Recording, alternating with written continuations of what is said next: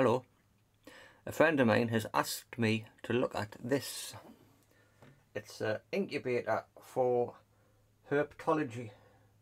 Herpetology, I think that's the right word. Uh, this one's by Lucky Reptile.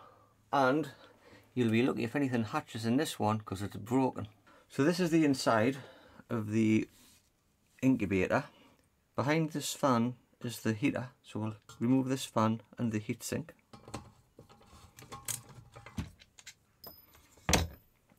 And then you've got two screws in here. When you undo these, look out for the heatsink in the front of the unit falling off because there's one in the front of the unit. As you can see it's absolutely terrible quality. And there's the faulty heater.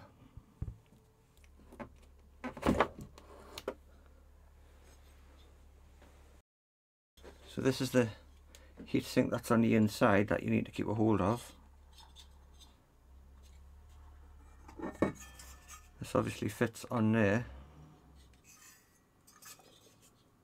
Now this is a TEC1 12705. When you follow the cables down here to the main board,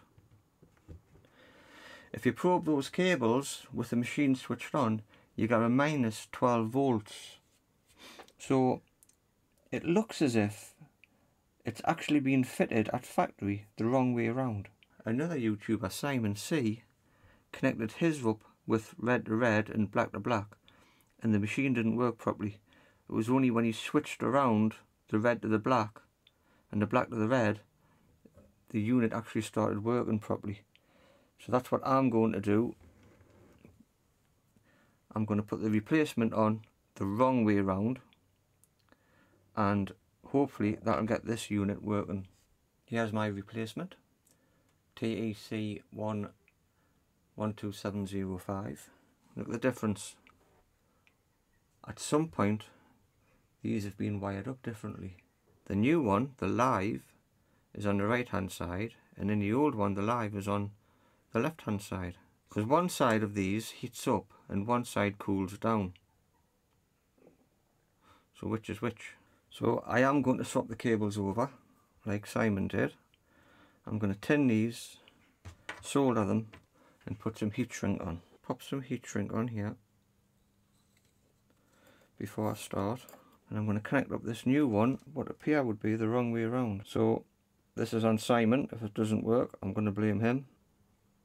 I'm going to use some warm air from my hot air station just to shrink those down if it'll reach so that should be it so it's just a matter of case of putting this back together I'll put some new MX4 on I can't remember if the writing faced out or faced in so I'm going to have to have a look and see which way Simon did it. The original one was the text facing out.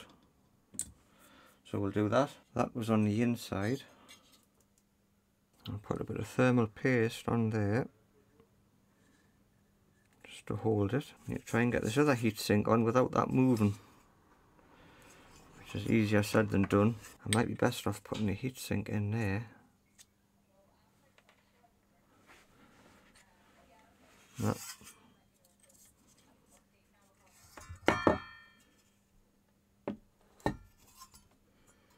That wants to go on like that. I've got, I've got no way of screwing that in to there without the other side moving. I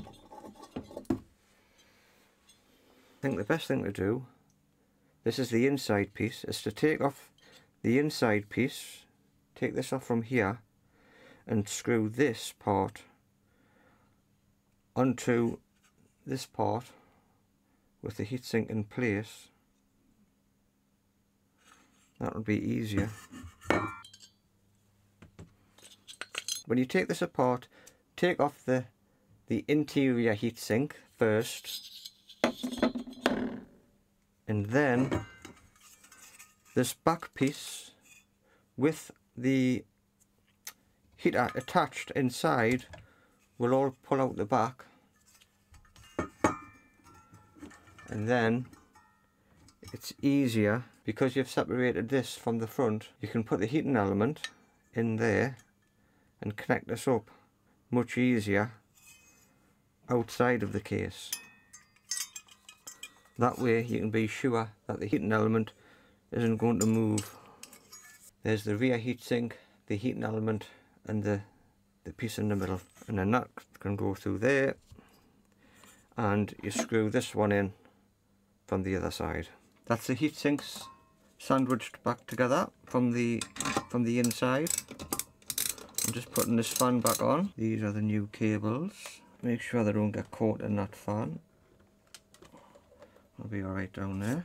We'll pop this back cover back on. I think we'll test this before I put all the screws in the back. So we'll switch on. And we've got 24 degrees. Now if I turn this up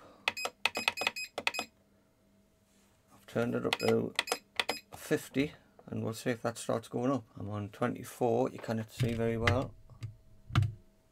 no I'm still on 24 no it's not working at all what's happening on side that is not heating up. There's no temperature coming through there. No, I've got nothing.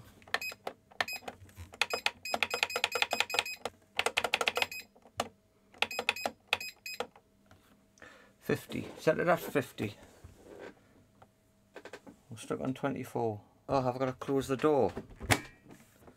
Close the door now, see if that makes a difference. Now the fan started up but the temperature's not rising. Nope. Right, get it back open, switch it off. So there must be something more to this. Right, I'm switched on, so I've got to be careful of this power supply, but I've got it set at 40.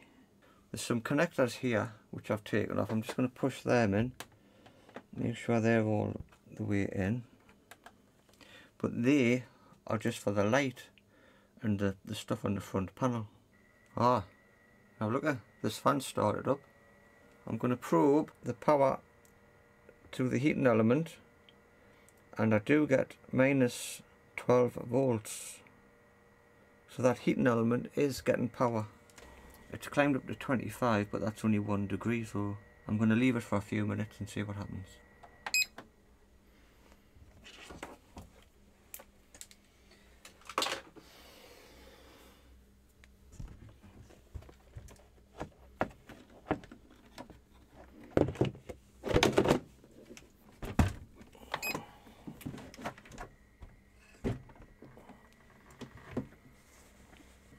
Okay, so I'm on 26 at the moment. It's